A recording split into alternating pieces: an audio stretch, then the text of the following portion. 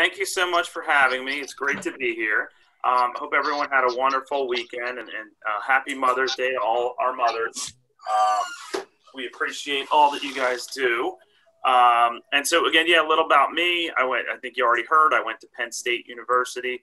I uh, went to Jefferson Medical College in Philadelphia and did my residency there at the Rothman Institute, and um, did a fellowship in hip and knee replacement outside of Washington D.C. in Alexandria, Virginia. I've been in practice here in Mercer County about eight years and been with the Rothman Institute for about the last four. Um, when we talk about pain uh, in hips and knees, uh, very commonly arthritis is causing pain for patients. So, you know, we hear this term arthritis. And so, what is it? And so, what it is, it's basically a loss of the cushion in your joints. Each of your bones has, uh, at the end of the bone, has a cartilage cushion. And when that cartilage cushion gets worn down, that's what arthritis is.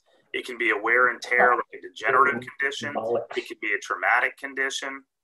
Um, there's also a condition known as rheumatoid arthritis, which is part of an autoimmune family of diseases that attack the lining of the joints that cause joint degeneration. But that's one of the most common uh, causes of pain in the hips, knees, and even the, the shoulders as we get older. Um, so arthritis develop from abnormal anatomy. Um, like let's say maybe you had a problem with your hip as a kid, maybe you could develop hip arthritis in your 50s or 60s. Or if you had a fracture around your knee, your tibia or femur, um, that could cause abnormal anatomy, which could lead to arthritis. Um, abnormal biology, if there's a lack of blood flow to the joint, that can lead to degenerative changes or arthritic changes in the joint. Um, overuse, just, you know, that's kind of your wear and tear. You know, somebody who's worked it's in a standing physical job for, you know, 40 years may develop arthritis. And then genetics. Uh, a lot of times we hear when people, when we tell people, hey, yeah, you have hip arthritis or a bad knee. Yeah, you know, my brother had a knee replacement or my mom had a knee replacement. And so that genetic component is certainly there. We're learning more about that as we learn more on genetics. So again, what causes arthritic pain? It's that in the healthy joint, the end of the bone is covered with that cartilage, which is a cushion. So the joint functions without pain. When that cartilage cushion deteriorates, that's when you get that bone on bone contact and that causes pain. So, you know, I liken it to a door hinge. So this is a brand new door hinge in a brand new building. And it equates to healthy cartilage. It's well lubricated. It's got full motion and it's pain free. Now, normal function is something we all take for granted, right? Walking, getting in and out of a car, sleeping without pain. These are all like things that are a given, right? But over a course of uh, your lifetime, you know, your your joint can end up looking like this. And this is an arthritic joint. It's a rusty door hinge. It doesn't have full motion. It's like losing cartilage. It's not lubricated, um, and there's pain associated with it. So, you know, that's kind of my best analogy when trying to describe arthritis to patients. And so, you know, we can we're going to talk a little bit about treatment options for arthritis. But before that, you know, I really like to focus on how are we going to be healthy? How are we going to prevent arthritis? How are we going to keep our bodies healthy, especially as we age? And then even after you do get a hip or a knee replacement, what can you do to stay healthy? And that's something that, you know, we we don't have a, great hold of a lot of times but there interestingly there's a lot of good information out there about staying healthy and you know this has been known for a long time. This is plato the greek philosopher and he even wrote that the lack of activity destroys the good condition of every human being while movement and methodical physical exercise save it and preserve it. So basically with, with an exercise program we can kind of keep our joints healthy. And you know, if we do have arthritis, we can we can treat them. However, we'll we'll talk about that a little later. But even after a hip or a knee replacement, or even when you're being treated non-surgically for arthritis, exercise and movement are an important point of keeping our joints healthy. So this is a 1953 Corvette. This is the first year uh, the Corvette was uh, was out, and this I need to update this because this is a 2015 Corvette, and we have a new a C8 these days. So I got to get a C8 on this picture but the 53 model versus the 2015 model. That's what we got. So what we want to do is we want to keep our 1953 model looking kind of like it does it did in 1953 or at least kind of functioning the same way um, so that we can survive and thrive in 2015 so over a lifetime you know let's say sedentary lifestyle bad nutrition maybe even bad habits like say or, or, or tobacco uh, basically we get rapid aging and the effects of chronic disease and even premature death. So what you want to do is prevent your your 53 Corvette from ending up like this.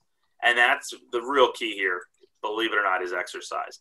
So when we look at preventable risk factors for death, uh, we have tobacco, elevated blood sugar, elevated blood pressure, and then believe it or not, physical activity is number four. Um, obesity is number five. I think those two kind of go hand in hand. All five of these things increase the risk of heart disease, diabetes, and cancer. Those are the things that are going to most commonly kill you. So, you know, how do we get older? Well, there's obviously the chronologic passage of time, and, and there's no way to slow that down. But there's also biologic aging. So, why do some people say, wow, that 60 year old looks like they could be 40, or wow, that 60 year old looks like they could be 80? Um, you know, biologic, we have changes in the structure and function of our body. We have changes in individual cells, and then that leads to changes in vital organs. So, you know, the changes in the heart cells, for example, when you're 40, those changes are happening, and that can lead to, you know, the heart being abnormal when you're 60. Um, uh, that goes with the liver and the kidney, and, and, that's part of why, as we get older, we tolerate certain medications uh, or anesthesia, for example, uh, let, uh, more poorly because the organs, you know, the kidney and the liver aren't filtering out the toxins uh, as rapidly as they were when we were in our 20s or 30s. And so, what happens when we age? Basically, we lose mechanical power. We decrease muscle mass. Uh, there's limited movement. You know, your knee doesn't bend the way it did when you were 20, so there's loss of range of motion. And in arthritis, we can get inflamed joints. Uh, what happens with metabolic? Um, uh, metabolic. I guess I just got a message. Um, can you guys all hear me? Yeah. All right. So we're going okay here. Yes, I can hear you. Okay, I got a message that's probably not related to this. Sorry about that. Um, so when we age, also we have metabolic changes, right? So our metabolism just doesn't work as fast. It's harder to lose 10 pounds when you're 60 than it is when you were 20, right? So uh, we get loss of efficiency as the body um, uses oxygen for fuel. There's decreased cardiac output, which means there's actually decreased ability for physical activity, and our body doesn't respond to hormones the same way. What else happens when we get older? Uh, nerves. Our nerves change. Our type 2 motor units, which are responsible for muscle strength and power, decrease. And a sedentary lifestyle can actually lead to memory loss and decreased cognitive function. And then finally, hormones. we lose testosterone, we lose estrogen, and these these are anabolic steroids which help build our muscle and bones so a sedentary lifestyle can also lead to decreased production of these steroids so what prevents these changes you knew it it's going to be exercise and so what exercises should you do well there is a, a large amount of literature on anti-aging and the this kind of three-pronged approach to exercise is what we believe will help you uh, to kind of delay or, or prevent uh, you know biologic aging. Uh, so there's aerobic conditioning like cardiovascular exercise. There's strength training, and then there's balance and flexibility. And we're going to go through each one and give you guys some tips on what types of things you can do. So aerobic conditioning, this is the classic stuff uh, we see: treadmills, step aerobics. And so the benefits are that you're going to improve your heart and lung health. You're going to improve uh, your blood vessel compliance. Um, it's going to decrease your blood pressure if you exercise, decrease the plaques in your blood vessels. You're going to decrease fat and maintain muscle. So, you know, what should you do? The American Heart Association actually recommends 30 to 45 minutes, three to five times per week. Um, there's also, you know, what do you do? Do you do high or moderate intensity, like running, biking, or swimming? Do you do low intensity, like walking or swimming? You know, my tip for everyone is if you're going to do exercise, you have to do something that you actually sort of enjoy. Because if you hate biking and you get a spin bike and you use it really, really hardcore for a month or two, eventually you'll quit because you don't like it. So you have to find an activity you enjoy, you know, whether it's just walking with a friend on, on you know, the towpath by the river or whether it's going to a gym and getting on an exercise bike or even doing like a Zumba class. It's just got to be something you enjoy. So the next part is strength training. And we're not talking, you know, like these, you know, huge guys. We're not trying to bulk up like this, but we're, we're trying to use, you know, smaller weights and our body weight to really get stronger. Strength training has numerous benefits. Increase muscle mass, you're going to increase your lean muscle, and that's going to actually, believe it or not, improve your bone density. So for uh, most commonly, women are more concerned about this, but for osteoporosis, strength training is actually a great way to improve or prevent osteoporosis. Strength training is also going to decrease your fat mass, and it's actually, believe it or not, proven to help you live longer. Um, so the bottom line, though, with strength training is more muscle equals more calories burned. And so, what can you do? Um, the American College of Sports Medicine recommends eight to 10 exercises of eight to 12 reps, two days a week or more. So, you know, if you're getting to the gym and maybe you do like a circuit training type thing, that's great. Um, regular classic weightlifting is good. Um, again, more high rep, uh, low weight type system. Uh, system. Um, body weight, so you can do planks, push-ups, lunges. Um, there's all kinds of things you can buy at the sporting goods store: a Bosu ball, a medicine ball, resistance bands. All these things can be part of a strength training program, which can benefit your body significantly and really help your joints. Um, balance and flexibility is the last part of this program, and this is really key. Um, it helps to maintain your range of motion and improve your, your tendons so you get less strains uh, or less injuries when you do activity. Helps to improve posture and um, releases endorphins, which are actually natural pain suppressants. Um, and really, in as we get older, can, improving your balance and flexibility can actually help prevent falls, which is one way, you know, a lot of our uh, people, you know, over 60, 70, 80 years old will get wrist or hip or shoulder fractures. So, you know, you can do a lot of different things here. You can do sustained stretches like you learned in gym class as a kid, just sitting and reaching. You can do dynamic stretches like jumping jacks. Um, you can do you can use uh, different machines or devices to help you stretch, and then classes like yoga or Pilates can also help significantly. So, an anti-aging exercise program will increase mechanical stress, which is going to increase your strength and power, and also metabolic stress. And those two things in combination are going to stimulate your endocrine system to produce anabolic hormones like testosterone, growth hormone, and insulin like growth factor. And these are naturally produced by the body and they support and promote muscle and protein synthesis. So this isn't like, you know, the baseball steroids people are taking. When it's naturally done, it's very safe and it stimulates your cells to produce uh, new muscle and new protein cells. And so, you know, can this work? And, and, and, it absolutely can. Believe it or not, the fastest growing age of triathlon um, participants are in their th- late 30s and early 40s. Um, more than 50% of Ironman finishers are over the age of 40. And Ironman records are actually still being set by people over the age of 65. So, you know, maybe not everyone's an elite athlete as they age, but there's certainly this type of program can be done by everybody.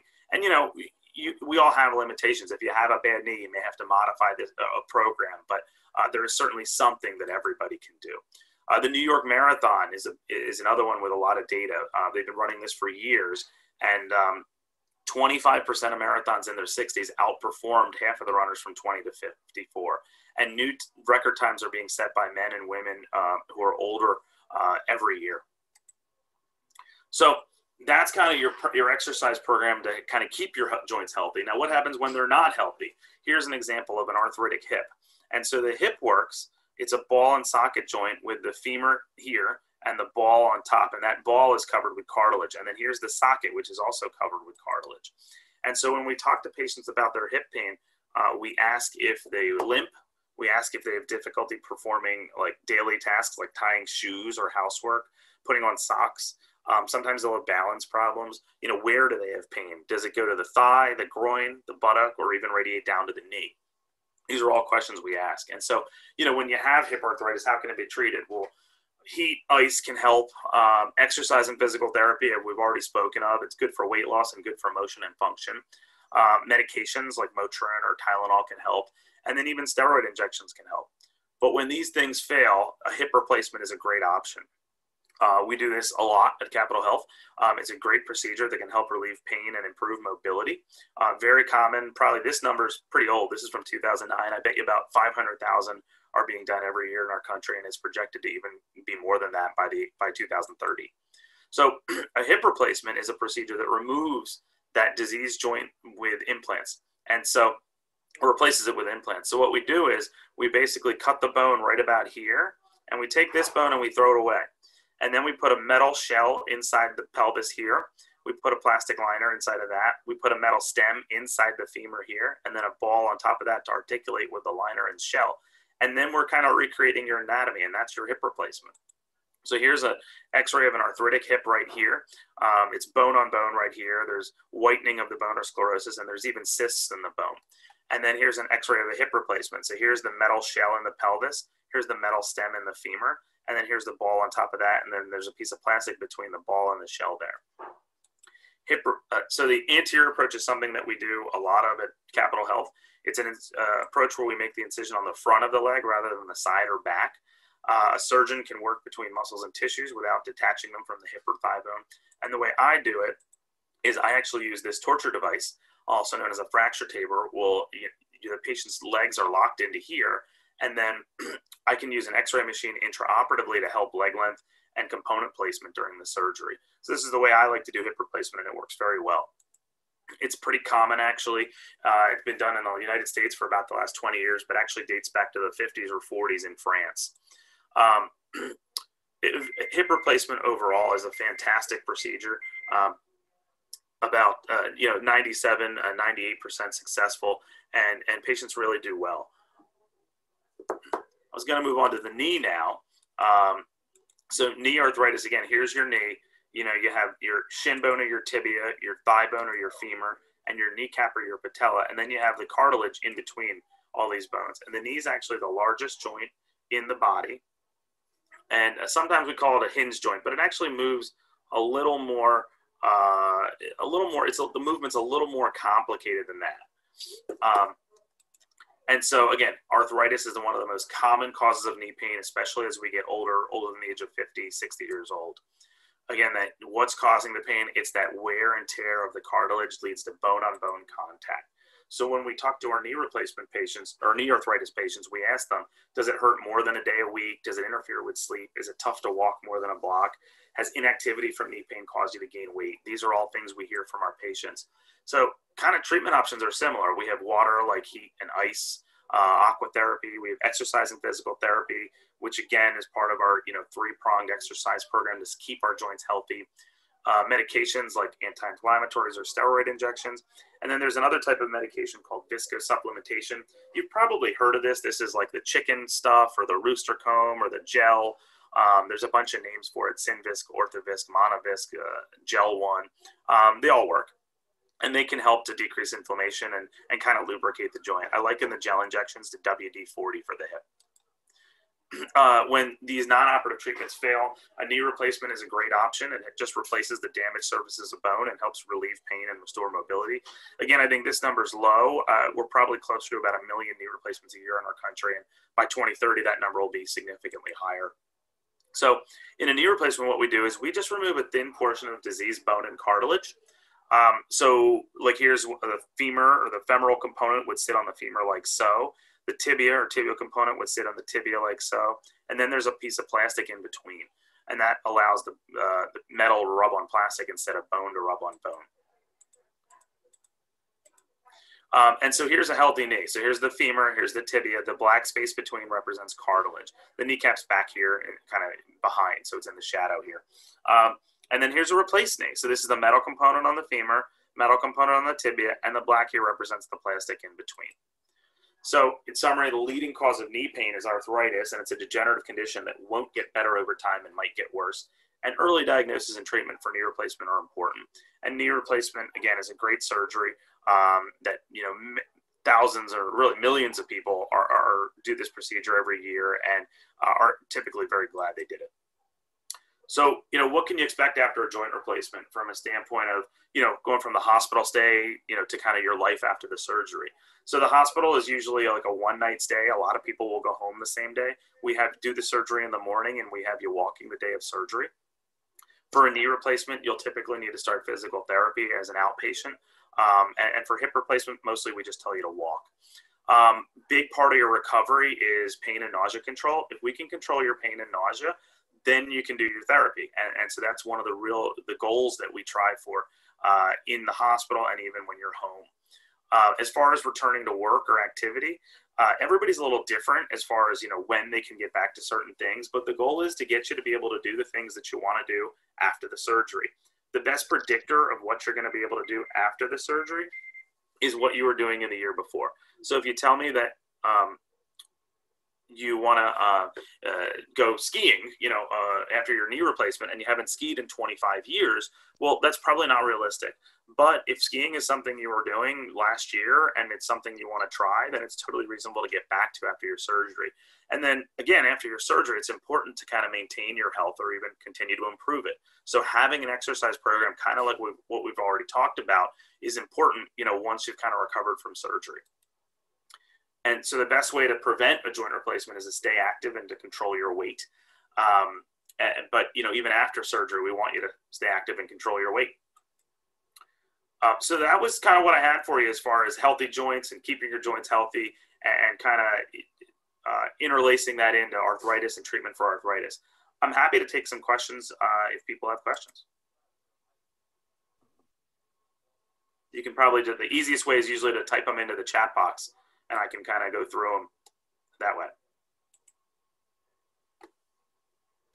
Thank you. So uh, yes, if anybody has questions, um, you can either ask them, write them in the chat box, and also um, before you leave, please do the evaluation. That'll be in the chat box.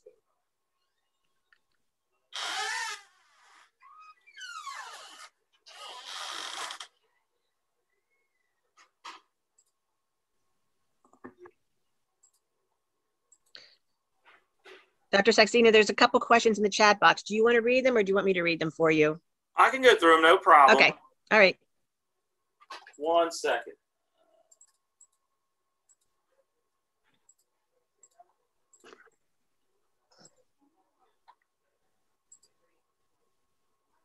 Um, so questions. So let's see. Uh, what's going on? Not much. Um, can we describe what to expect when recovering from a knee replacement?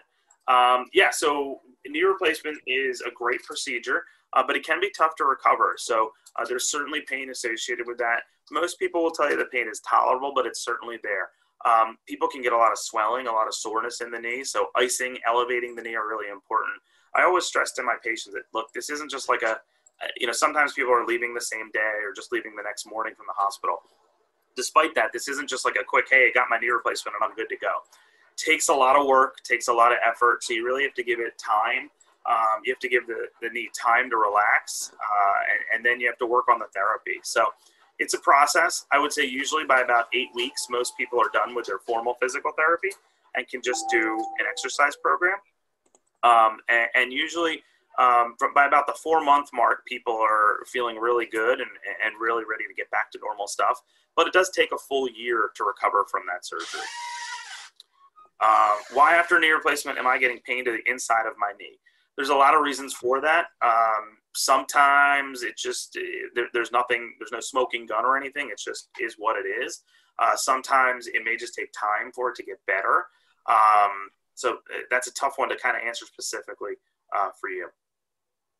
Um, can exercise aggravate bone on bone knee arthritis? Absolutely. Exercise can aggravate your arthritis. And so that's why it's important to have an exercise program. And if the exercise program is, is aggravating you, to modify it. Most commonly, people with knee arthritis uh, will prefer a recumbent exercise bike. That tends to allow them to exercise and get their heart rate up without putting uh, uh, or with putting the least amount of load on the knee joint. So that's a good option for my arthritic knee patients.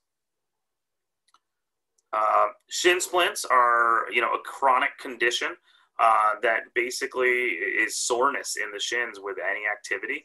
A lot of times, shin splints can get better by improving your shoe wear um, or taking anti-inflammatories. Uh, sometimes they're tough to get better though, so it takes time, and it can be a very frustrating condition to have. The only caveat with shin splints is you don't want to assume it's shin splints and instead have it be a stress fracture because that could be a bigger problem. So it is important if it's something that's lasting for a really long time um, or more than kind of a short period of time, probably to have it checked. So how long is a knee replacement good for? Uh, knee replacements, uh, we have good data that shows they're, they're lasting 20 years, 80 to 90% of the time. That doesn't mean they're failing year 20, day one, but we think they're gonna last even longer than that. So, you know, it'd be reasonable to expect that if you had a knee replacement today, that it would still be functioning well in 20 years. I am ready to be scheduled. Just call the office. Uh, the number's here. Uh, we are happy to schedule you for surgery. Um, so how long is the recovery time after hip replacement? You know, the hips are a little easier to recover from the knees. Again, you're going to walk the day of surgery, be in the hospital one day, maybe uh, one night, maybe discharge the same day. And usually by about the four week mark, most people walk into the office with a cane or nothing at all. And then again, you have to, it's a gradual process. And I would say most of the recovery is made by about the two to three month mark. And again, it takes a full year to get the maximum benefit from the surgery. I'm concerned. Uh, someone's concerned about getting to the bathroom during the night as they have to pass through a sunken living room. Yeah, that's a good point. You know, if you're having a surgery like this, it's important to set your house up so that you know uh, it's safe. And so, um, either maybe sleeping in a different place, uh, like in a different room than you're used to, um, or setting yourself up somewhere else is certainly a consideration if you're undergoing a surgery, especially on your lower extremities, and, and you're concerned about you know getting to the bathroom and um, just getting around the house. So you know, planning ahead is really important, and, and setting your house up to succeed for yourself is important. Um, if one has osteoarthritis in the hip, does delaying the hip replacement surgery cause additional damage, or can one wait until pain interferes with life? Typically, the answer is you can wait until pain interferes with life. There are some cases where, and I actually had one this morning in the office where I said to a patient, look, usually I'd say you can wait, but this one, you know, you're actually causing damage to the bone here, which may be harder to fix. So it, it's important to get that analysis from from your doctor and, and have an X-ray and, and sort of monitor it. Um, but most of the time, yeah, delaying isn't going to cause more damage. Um, mentioned that there is 97% success rate with hip replacement. What are the complications and what do you typically see? Fortunately, complications are rare. Uh, they're broken down in the way I look at them into two uh, two types of complications: surgical and non-surgical. So, non-surgical complication might be, you know, a blood clot or a stroke or a heart attack. These things happen rarely, but they can happen. We actually have you talk to your doctor before surgery and actually have you do pre-admission testing just to make sure there's nothing that we can correct or optimize before the surgery to hopefully prevent any of those type of complications. Surgical complications are, are ones that require another surgery. So, you know, infection, fracture around the prosthesis, dislocation of the prosthesis. These things happen rarely, but they happen, and they can be treated appropriately when they happen so you can kind of move on from it. Uh, please, yeah, everyone, please complete the survey at the end of the lecture. That really helps us to educate the community and figure out what else the community wants to hear. Um, I hear some people have excellent results with knee replacement, and the same person may not have a good result with the second one. The second one never feels right. Hip replacement seems to have a fantastic success rate. I would say, really, with any surgery, just because you had a great result on the right side doesn't mean the left is going to be exactly the same. So um, that is a little bit of a challenge what I have to explain to patients. But again, for the most part, people do well with both surgeries. The hip replacements do get a little more satisfaction than the knees typically. The hip's an easier surgery to recover from. Um, but you know they can both do well, and I think it's important to discuss these things with your doctor if you're you're suffering from these ailments. Dr. Saxena, I think we may have somebody, they raised their hand, they want to ask a question. So if somebody did, is it okay for them to ask their question? Sure. So what's the question? Somebody have a question? No. Guess not. Okay. All right. And we will keep going with the, with the chat box chat here. Box. These are all good questions. Um, what are your thoughts on continuing to jog with knee arthritis and also swim and bike? Um, yeah, absolutely. I recommend you be active. I, I do tell my arthritic knee patients that you know running on a treadmill or a hard surface can aggravate your pain, but as long as you're tolerating it, it's a great thing to do. Swimming and biking are great for our arthritic patients, so I would encourage any activity that you want to do to go ahead and do it. Um, uh, uh, kind of off that same vein, is a treadmill okay for bone-on-bone knee problems? Yeah, I mean a treadmill's fine. I don't have a restriction. I would tell you that if you have bone-on-bone knee arthritis, you're probably going to hurt more when you do a treadmill than you would an exercise bike. But again, if you enjoy it and you can tolerate it, go for it. People are talking about taking cartilage orally for joint pain. Are there any studies to show success or disprove this? Um, no studies that show success. Uh, the problem with taking cartilage orally for joint pain is your stomach's going to absorb it and kind of dissolve it, and then it's got to get into your bloodstream and get to your joint, and then be you know constituted in the structure of the cartilage. And because cartilage loses its blood supply as we age, it's really unrealistic for any of that to happen. So no studies have shown that to work. Um, some of these cartilage supplements uh, are shown to have some anti-inflammatory effects that can help, but as of right now, there is no way to regrow cartilage. Someone has patelochondrosis and exercises often. They feel a little discomfort almost daily, but don't know what to do. Um, yeah, I mean, basically, exercising is good. Using Voltaren and turmeric are good. Um, uh, really just keep doing, you know, all the options. At some point, a steroid injection might help or gel injections might help. Um, can you overstress it? Absolutely. If that happens, you'll need to listen to your body and sort of back off on activity. Um, but, you know, the big key is to kind of keep exercising. and stay fit Uh, what does it mean when pain from your hip starts radiating to your knee? Um, that's a common thing we see with hip arthritis is that patients will actually complain of knee pain or have pain radiate from the hip joint to the knee. Um, it basically means you need to start actively treating your hip arthritis and, and whatever that may be, anti-inflammatories, steroid injections, exercise, or even hip replacement. Do hip flexor exercises soothe knee pain? I don't know that they soothe knee pain, but certainly hip flexor exercises are a great way to stretch and uh, should be part of a stretching program. Um, when I walk for more than 15 minutes, I have a bulge on the outer part of my knee, which goes away when I stop after about 20 minutes. Um, not sure what that could be. Um, that could be um, uh, that could be some fluid or swelling in the joint. Um, it could be a tendon issues. That's something that would probably need a little more of a detailed exam. Uh, the oral stuff is that Osteo Bi-Flex? Yes, it is. Um, Osteo Bi-Flex, Mhm. Yes, glucosamine, glucosamine, chondroitin, all these things are kind of oral supplements that can help with arthritic pain. Yeah, I They think will the not size of your other watch cartilage. is good. Yeah, it's 29, so I will get 33, I think. At the most, yeah. Someone's Yeah, having a but more than that, conversation on there. Too big. Yeah, could you please mute your microphones?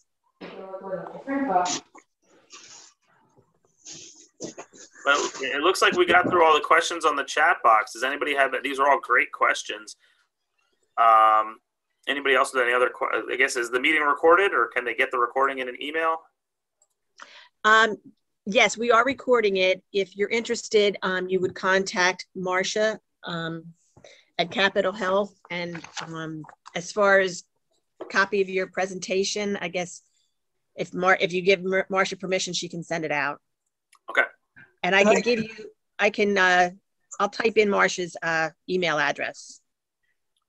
Sure. Someone asked about the question about Osteo Bi-Flex. Um, yeah, that's one of the many oral supplements you can take. Um, it doesn't regrow cartilage, but it can help with joint pain, probably an anti-inflammatory effect. Um, so you could certainly try it if um, you're having those symptoms.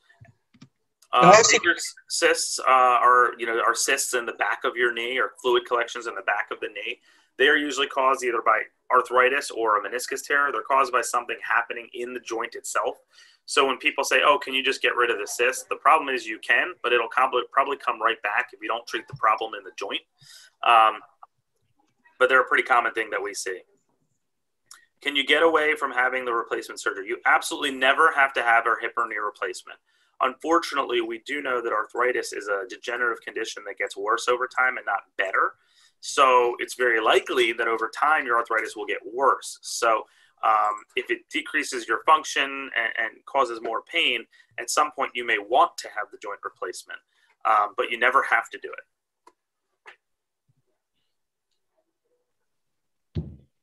I just put Marsha's email address up there in the chat box. Uh, typically, when when can one begin lower body stretching and lower body weight training after a hip replacement? Stretching you can pretty much begin right away um, as long as you're safe with it.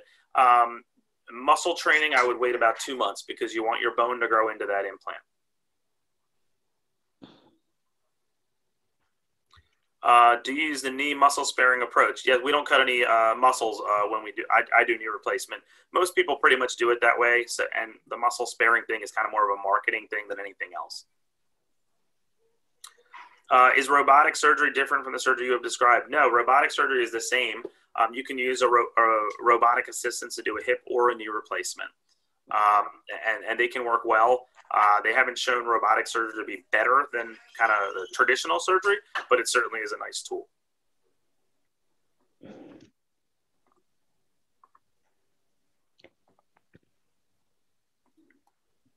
I have a question. Sure. Um, I was in your office last year and po- have postponed my hip surgery. And uh, I'm the person who's now, when I do a lot of work in the yard, the pain now radiates down to my knee. But I'm trying to postpone my hip surgery until like November ish when I don't have to work in my yard anymore.